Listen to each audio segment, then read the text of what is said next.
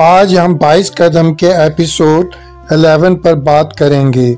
लेकिन आगे बढ़ने से पहले आप प्लीज़ हमारे चैनल को सब्सक्राइब करें और लाइक का बटन भी दबा दें। अब कहानी में लीज़ा का बाप लीज़ा को कहता है कि फरी की टीम ज्वाइन कर लो। जब तुम फरी की टीम में जगह बना लोगी और फरी के साथ खेलने से मशहूर हो जाओगी तो टीम पर कब्जा कर लेना और फिर फरी को टीम से निकाल देना। इस तरह उसके टीम से निकलने की वजह से ना सिर्फ़ उसका क्रिकेटिंग करियर ख़त्म हो जाएगा, बल्कि वो तुम्हारे और जुनेद के दरमियान से भी निकल जाएगी। लीज़ा अपने बाप की ये बात मान लेती है और फिर फरी को फ़ोन करके बताती है कि वो उसके साथ मिलकर टीम बनाना चाहती है।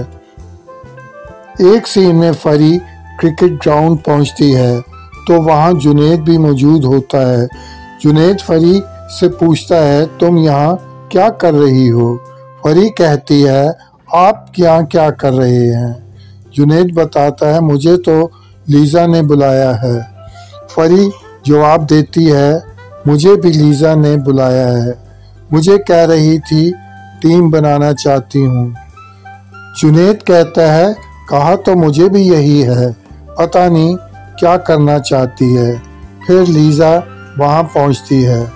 अगले सीन में फरी, जुनेद और लीज़ा रेस्टोरेंट में मौजूद हैं। वहाँ लीज़ा, जुनेद को बताती है कि मैं और फरी एक टीम बना रही हैं। ये सुनकर जुनेद बहुत हैरान होता है और कहता है, शुक्र है तुम दोनों एक साथ खेलने के लिए तैयार हो गई हो। फिर उन्हें बताता है, देखो, एक रीजनल टूर्नामेंट होने वाला है। मैं अपनी कैपेसिटी में जितनी तुम लोगों की हेल्प कर सका तो करूँगा।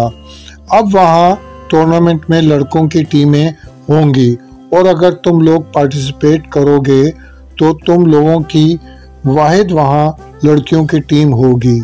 अब तुम लोगों को जीतने का प्रेशर भी नहीं होगा। लेकिन मैं चाहता हूँ तुम लोग वहाँ डिसेंट परफॉर्मेंस दो, ताकि तुम लोग वहाँ नोटिस हो सको। हो सकता है वहाँ ऐसे किसी इंसान से नोटिस हो जाओ, जिसका ताल्लुक कौमी टीम से हो। मेरे पास तो यही बेस्ट प्लान है तुम लोगों के लिए। फरी और लीज़ा को जुनेद का ये प्लान बहुत पसंद आता है।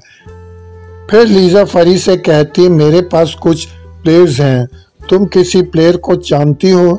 फरी जवाब देती है, मैं जानती तो हूँ, लेकिन उसके लिए हमें मैनेजर के पास जाना होगा, क्योंकि प्लेयर्स के एड्रेसेस उसी के पास हैं। लीजा पूछती है, अब ये मैनेजर कौन है? फरी जवाब देती है मैनेजर करियाना है। अगले सीन में फरी करियाना से कहती है, जितने भी तुम्हारे पास प्लेयर्स के एड्रेसेस हैं, हमें उनके पास ले जाओ। मैं उन्हें अपनी टीम में रखना चाहती हूँ। करियाना कहती है, ठीक है, लेकिन टीम की मैं मैनेजर होंगी। सबसे पहले ये हलीमा और हाजा के पास जाती हैं। ये दोनों बहनें टीम ज्वाइन करने के लिए तैयार हो जाती हैं। फिर करियाना मनियाब के पास लेकर जाती है और वो भी टीम ज्वाइन करने के लिए तैयार हो जाती है। फिर लीज़ा बताती है कि वो तीन प्लेयर्स को जानती है। फिर वो प्लेयर्स के पास जाती हैं और वो भी टीम ज्वाइन करने के लिए राज़ी हो जाती हैं। अब इनके टोटल प्लेयर्स आठ हो जाते हैं।